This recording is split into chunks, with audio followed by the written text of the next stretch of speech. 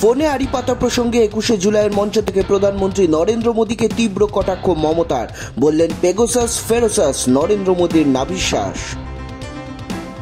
দু হাজার চব্বিশে বিজেপি বিরোধী জোটের ডাক দিলেন মমতা বন্দ্যোপাধ্যায়। কেন্দ্র থেকে বিজেপিকে হটানোর জন্য সলতে পাকানোর কাজ শুরু করে দিলেন। কোভিড পরিস্থিতি সামলাতে গিয়ে কেন্দ্রের মনুমেন্টাল ফেলিওর হয়েছে। ওষুধ থেকে ভ্যাকসিন থেকে গঙ্গায় মৃতদেহ কেন্দ্রকে সব দিক থেকে বিদলেন মুখ্যমন্ত্রী মমতা বন্দ্যোপাধ্যায়। আজকে শহীদ দিবস পালন হলো সর্বভারতীয় স্তরে। উপস্থিত ছিলেন শরদ পাওয়ার চিদম্বরম দিগ্বিজয় সিং এর মতো একাধিক মোদী বিরোধী হেভিওয়েট নেতা। আজ ঈদুজ্জোহা উপলক্ষে দেশবাসীকে রাষ্ট্রপতি রামনাথ কোবিন্দ এবং প্রধানমন্ত্রী নরেন্দ্র মোদী শুভেচ্ছা জানিয়েছেন। একই সঙ্গে মিষ্টি বিনিময় করলেন ভারত বাংলাদেশের সীমান্তরক্ষী বাহিনী।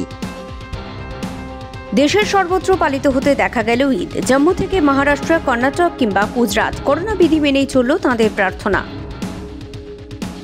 মুম্বাইয়ের মেরিন ড্রাইভে দেখা গেল উঁচু ঢেউ তার সঙ্গে ভারী বৃষ্টি।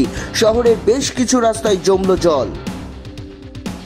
আগামী ছত্রিশ ঘণ্টা হিমাচল প্রদেশে জারি থাকবে ভারী বৃষ্টির সতর্কতা। এরপর বৃষ্টিপাতের পরিমাণ কমলেও ছাব্বিশ তারিখ থেকে হতে পারে ভারী বৃষ্টি।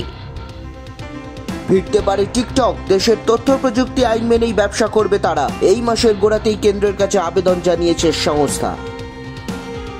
দু হাজারের পর দু হাজার বত্রিশ, ঠিক বত্রিশ বছর পরে অস্ট্রেলিয়ার ব্রিসবেনে অনুষ্ঠিত হবে অলিম্পিক্স। দু হাজার সালে সিডনিতে অনুষ্ঠিত হয়েছিল অলিম্পিক্স।